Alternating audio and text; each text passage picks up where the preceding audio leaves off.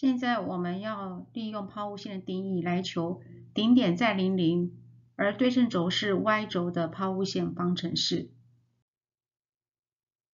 坐标平面上如果有个抛物线，它顶点在零零，而它对称轴呢是 y 轴，那么焦点呢一定是在 y 轴上，所以焦点可能是在顶点的上方或下方。如果 c 大于零，那么我们会发现到这个抛物线呢会是一个开口向上的抛物线。如果焦点的 c 是小于零，那我们会发现到这个抛物线呢是一个开口向下的抛物线。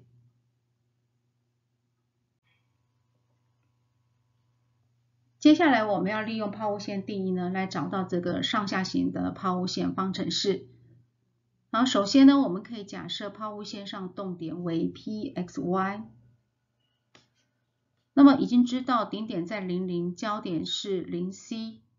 那所以呢，我们可以推算准线的位置，准线的位置呢就应该是 y 等于负 c。那么抛物线定义告诉我们说，动点 x y 到焦点的距离跟到准线是等距离的。所以我们要计算 x y 到焦点零 c 的距离，我们可以代入两点距离公式，得到根号 s 平方加上 y 减 c 的平方。接着我们要计算 x y 到 y 等于负 c 的距离，我们会得到 y 加 c 的绝对值。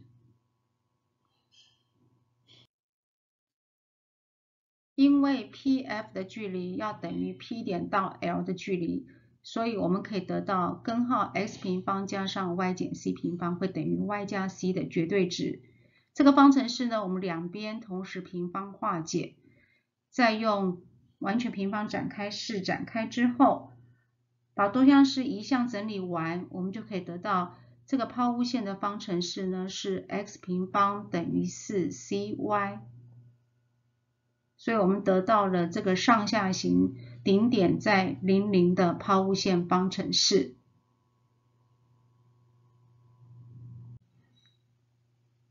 因此我们可以得到顶点在零零，开口是向上或向下的抛物线方程式。我们利用焦点坐标的 c，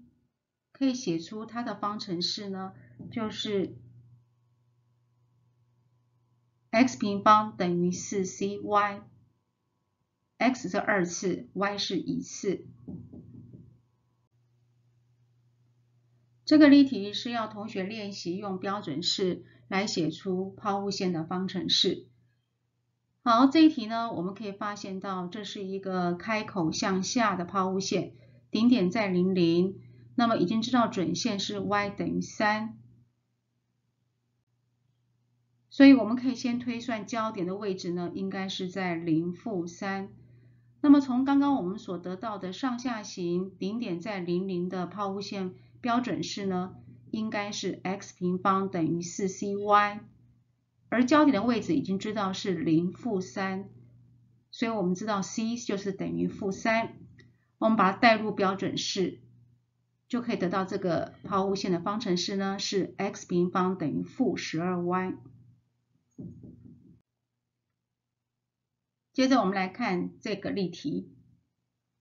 这个抛物线呢，它的准线是在 y 等于负四，而焦点在零四。经过画图呢，我们可以看到它是一个开口向上的抛物线，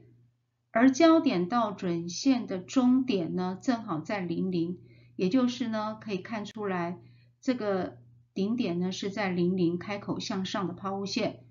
所以我们刚刚学到的标准式呢，告诉我们说它的方程式呢可以写成 x 平方等于 4cy。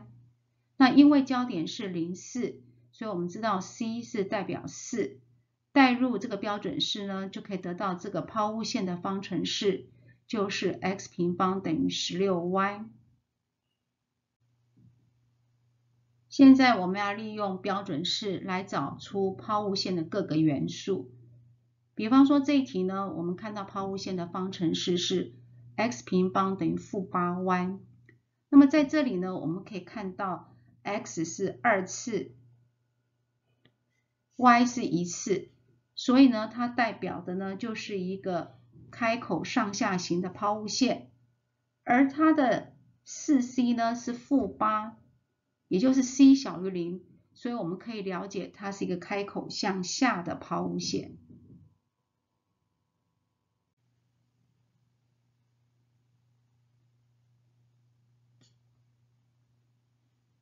好，我们可以发现到顶点仍然是在零零，那么这时候呢，x 平方等于四 cy，我们发现到那个四 c 就是负八，所以 c 是负二，顶点零零，c 是负二，我们就知道焦点坐标是零负二。接着我们看准线，准线呢应该在顶点的上方，所以就变成是 y 等于二。最后，我们可以把顶点在零零的抛物线标准式呢整理如下。我们一般来说有分左右型跟上下型。如果是左右型的，我们会发会发现到它的方程式呢，y 是二次，x 是一次，也就是 y 平方等于四 cx。焦点坐标呢就应该是在它的轴上，也就是在 x 轴上。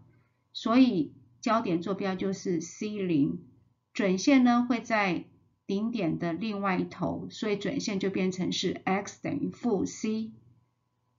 那另外的，如果是 x 遇到的是二次，也就是 x 平方等于四 cy 这个方程式，那就代表它是一个上下行的抛物线。顶点呢是零零，焦点呢就在顶点的上方或下方。要看 c 是正的还是负的，所以焦点坐标就可以写成零 c。那么准线跟焦点呢，分别是在顶点的两侧，所以当焦点坐标是零 c 的时候，准线就变成了 y 等于负 c。同学可以参考图形来背这个公式。